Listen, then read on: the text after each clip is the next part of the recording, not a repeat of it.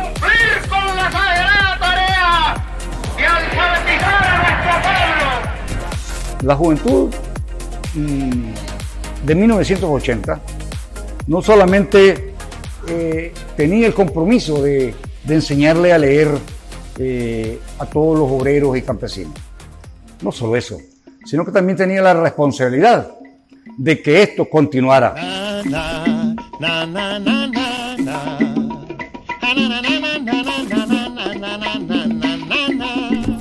Pero entonces, ¿cómo tenía que continuar?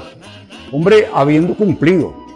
Entonces, si nos dieron, si nos dieron la tarea de, de derribar ese 64% de analfabetismo que nos había heredado la dictadura militar somocista, teníamos que bajarlo a la, a la mínima expresión.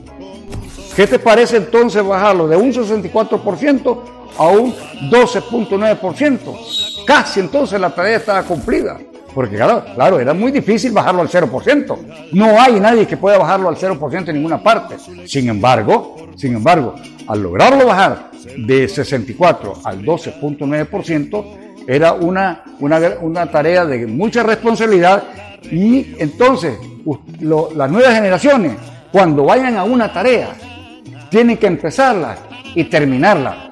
Terminarla en, en cantidad, pero también en calidad. ¿Qué quiere decir? ¿En calidad de qué?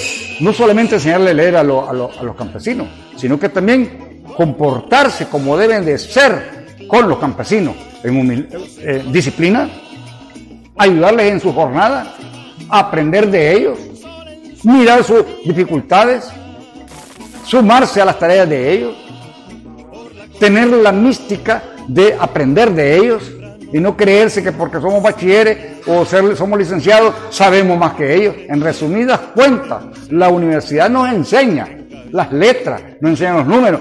Pi es igual a 3.1416, pero allá en el campesinado nos enseña la humildad, el cariño, el respeto, el dolor, el sufrimiento, la pobreza.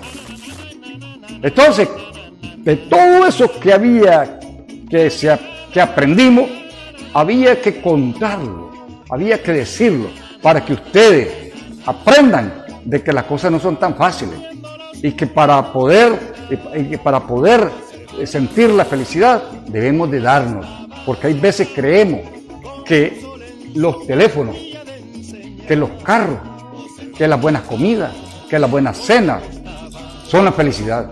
La mera verdad, nada de eso es felicidad. La verdadera felicidad es cuánto te das vos a la humanidad. Un candil, mojo de luz, todo su rancho y una lágrima rodó sobre el cacao de su piel.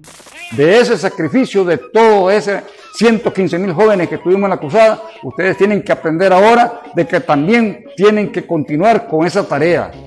Tarea tal vez no tan así, pero sí no quedarse durmiendo en sus casas tan tranquilamente, porque eso se llama egoísmo, no darse.